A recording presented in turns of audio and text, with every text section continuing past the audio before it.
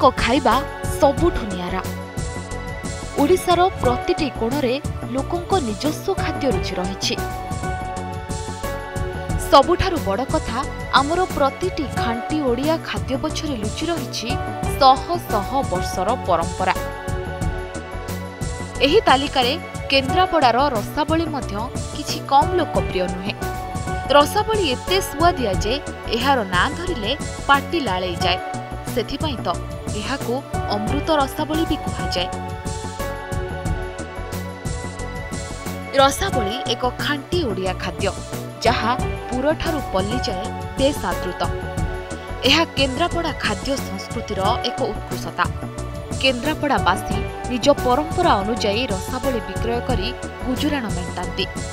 ରସାବଳୀର ଏକ ସୁନ୍ଦର ଇତିହାସ ରହିଛି। ଏଣୁ କେନ୍ଦ୍ରାପଡ଼ା ରସାବଳୀକୁ ଜିଆଇ ଟ୍ୟାଗ୍ ମିଳିବା ନେଇ ବିଭିନ୍ନ ମହଲରେ ଦାବି ଉଠିଛି।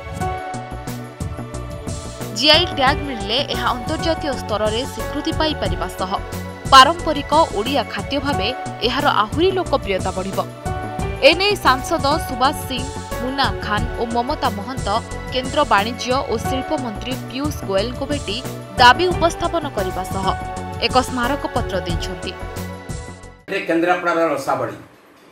ଆଜି ପାର୍ଲାମେଣ୍ଟର ମାନ୍ୟବର କେନ୍ଦ୍ରମନ୍ତ୍ରୀ ଯିଏକି ଅଛନ୍ତି ବାଣିଜ୍ୟ ଏବଂ ଶିଳ୍ପ ମନ୍ତ୍ରୀ ଶ୍ରୀଯୁକ୍ତ ପୀୟୁଷ ଗୋୟଲଙ୍କ ପାର୍ଲାମେଣ୍ଟ ଅଫିସରେ ସାକ୍ଷାତ କରି ଆମେ ତିନି ଜଣ ସାଂସଦ କେନ୍ଦ୍ରାପଡ଼ା ପ୍ରସିଦ୍ଧ ବଳଦେବଜୀଉ ଅ, ମନ୍ଦିରର ଯେଉଁ ପ୍ରସାଦ ଅଛି ରସାବଳୀ ଯାହାକୁ ଜାତୀୟ ଆନ୍ତର୍ଜାତିକ ସ୍ତରରେ ସେ ଆଦୃତ ହୋଇପାରୁଛି ଏବଂ ଏହାକୁ ଜିଆଇ ଟ୍ୟାଗ୍ ଦିଆଯାଇପାରିଲେ ଏହା ଜାତୀୟ ଆନ୍ତର୍ଜାତିକ ସ୍ତରରେ ଏକ ସ୍ୱୀକୃତି ପାଇପାରିବ ଏବଂ ପର୍ଯ୍ୟଟକମାନଙ୍କୁ ଆକୃଷ୍ଟ କରିପାରିବ ଦୀର୍ଘ ଚାରିଶହ ବର୍ଷରୁ ପାରମ୍ପରିକ ମିଷ୍ଟାନ୍ନ ଭାବେ ରସାବଳୀ ନିଜର ସ୍ୱତନ୍ତ୍ରତା ବଜାୟ ରଖିଛି।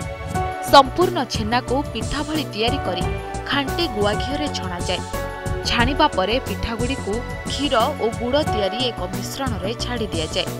ପରେ ଏଥିରେ କାଜୁ ଓ କିସମିସ୍ ପକାଇ ଠାକୁରଙ୍କ ନୈବେଦ୍ୟ ଭାବେ ଲାଗି କରାଯାଏ।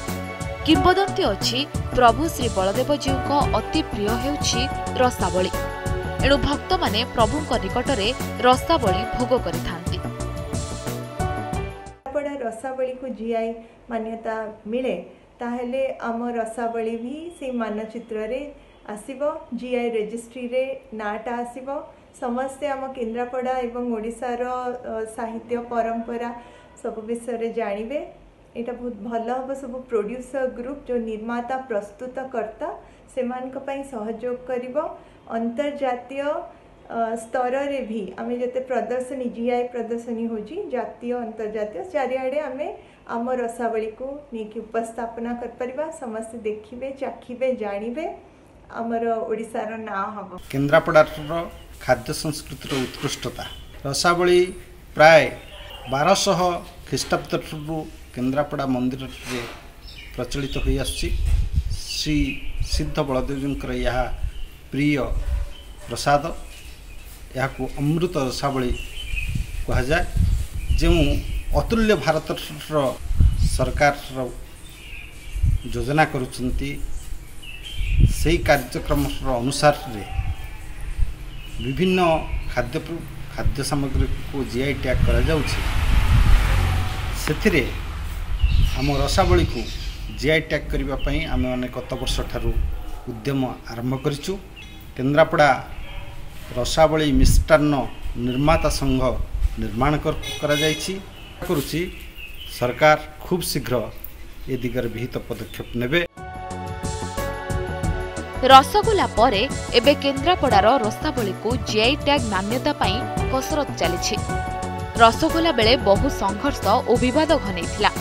ରସାବଳୀକୁ ସୁରୁଖୁରୁରେ ଜିଆଇ ଟ୍ୟାଗ୍ ମିଳିଗଲେ ଏହା ନିଶ୍ଚିତ ଓଡ଼ିଶା ତଥା ଓଡ଼ିଆଙ୍କ ସଫଳତା ଭାବେ ଗଣତି ହେବ। ଭୁବନେଶ୍ୱରରୁ ପ୍ରଜ୍ଞା ଚୌଧୁରୀଙ୍କ ରିପୋର୍ଟ ଓଡ଼ିଶା ରିପୋର୍ଟର।